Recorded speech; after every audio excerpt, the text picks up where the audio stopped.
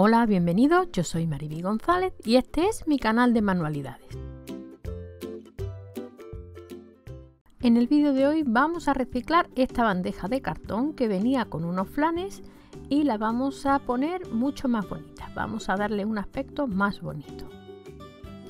Para empezar vamos a mezclar un poquito de agua con cola blanca pero ya me comentaron el otro día, me hizo mucha gracia porque yo sé que en México, por ejemplo, le llamáis resistol.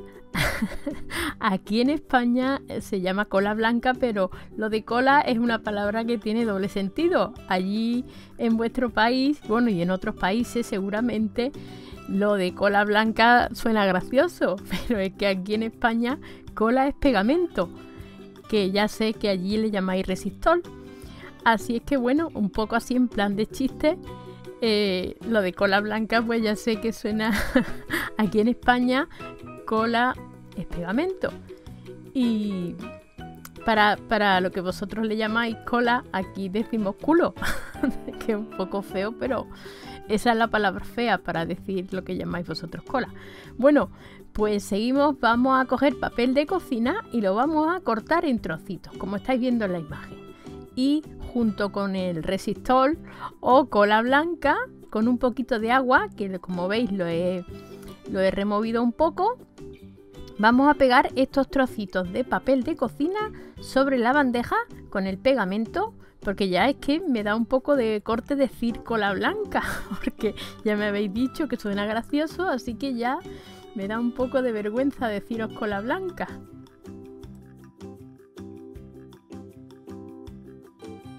Bueno, pues vamos a pegar los trocitos de papel de cocina con la mezcla de pegamento y agua. La vamos a ir pegando y vamos a cubrir con los papelitos toda la bandeja.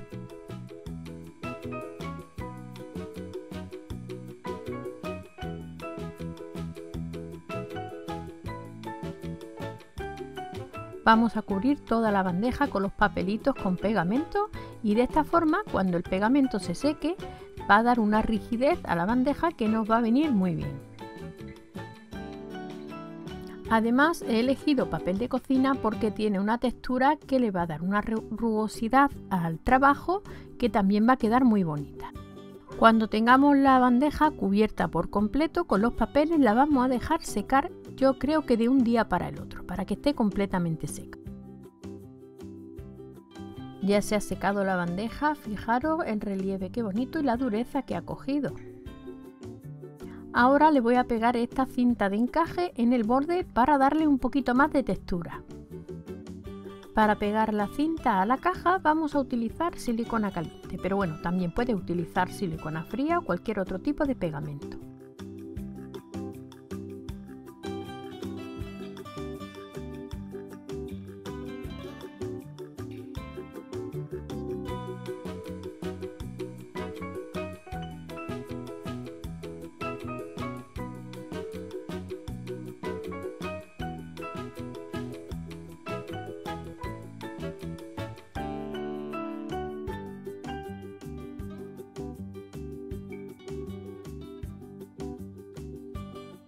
Ya tengo pegado el encaje en el borde de la bandeja y ahora vamos a pintar toda la bandeja con la pintura Chalky Finish de American Deco Art en color rústico.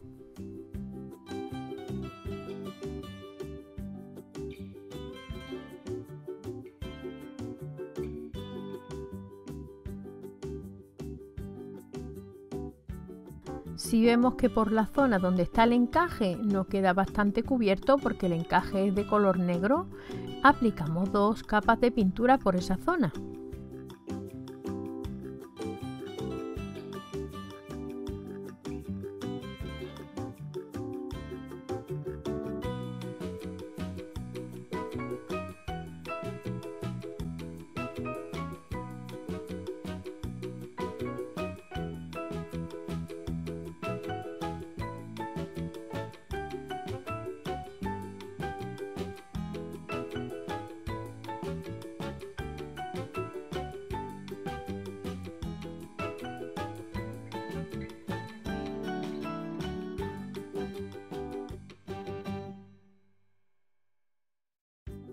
Ya se ha secado la pintura a la tiza y ahora vamos a aplicar con la pintura Vintage Effect Wash en color pátina una pequeña capa con la técnica del pincel seco.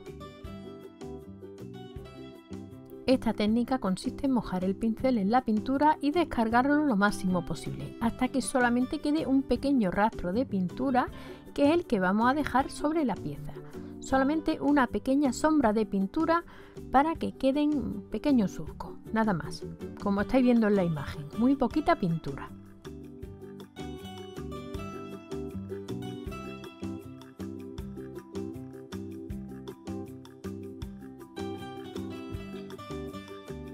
De esta forma vamos a pintar la bandeja, por algunos sitios más que por otros, así pequeños surcos, pequeños rastros, en las esquinas marcamos un poquito más y así por la parte de dentro y por la parte de fuera.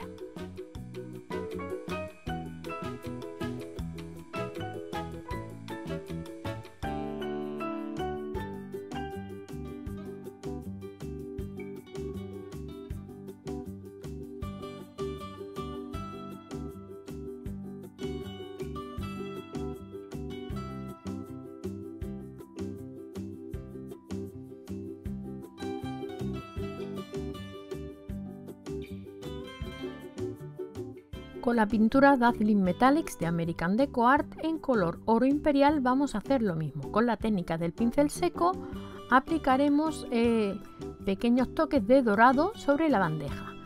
Mojamos el pincel, lo descargamos un poquito de pintura y vamos dando pequeños toques de dorado.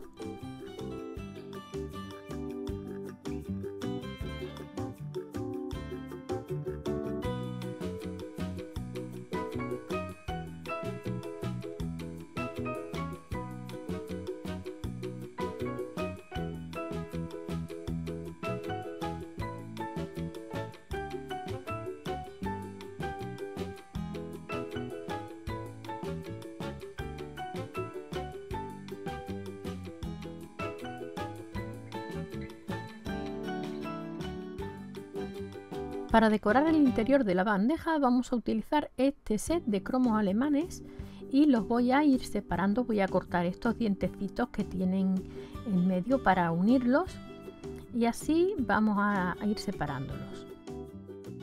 Estos cromos los he comprado en Dipinto Di os dejaré el enlace a su página en la cajita de información del vídeo, también os dejaré el enlace a todos los materiales que estoy utilizando además de un código de descuento en la cajita de información del vídeo, como siempre.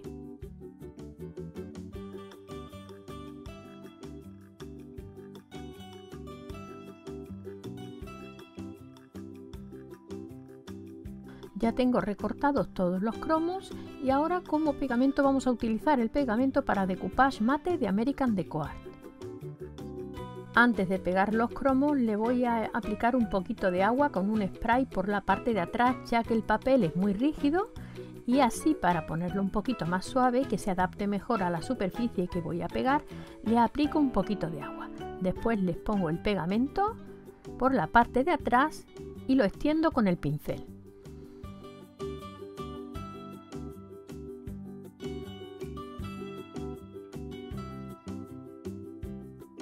Una vez haya aplicado todo el pegamento, ya coloco el cromo en la zona donde lo vaya a ubicar. Una vez esté colocado, le vuelvo a aplicar pegamento por encima y ya se queda completamente fijado. Y así de esta manera también voy sacando las posibles burbujas de aire que puedan quedar por debajo.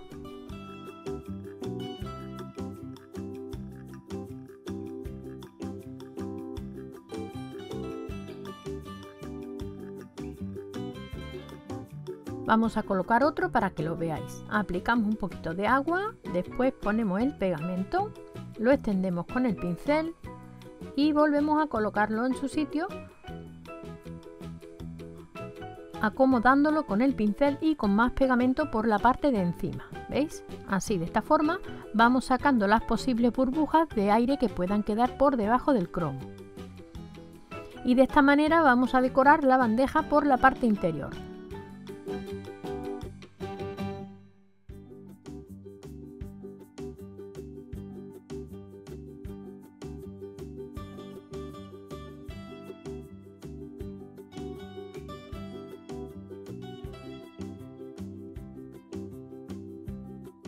Ya tengo el decoupage hecho y ahora vamos a darle una capa de barniz satinado Duraclear de Decoar para proteger el trabajo.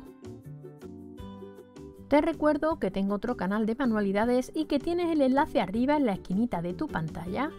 Te invito a suscribirte y a visitarlo ya que publico vídeos nuevos cada semana.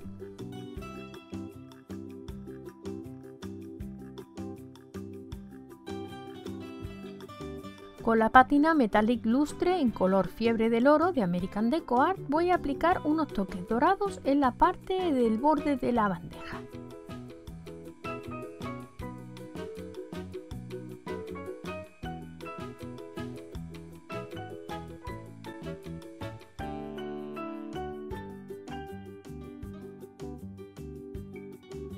Y ya tenemos el trabajo terminado. Hemos convertido una aburrida bandeja de cartón, que era para tirarla, en una resistente bandeja que podemos utilizar para poner bebidas o cualquier tipo de adorno. Espero que te haya gustado este trabajo y si es así, déjame un comentario, dale a like y no olvides compartir el vídeo en tus redes sociales para que el canal siga creciendo. Y ya me despido, un besito muy fuerte y nos vemos en el próximo vídeo. Hasta pronto amigos.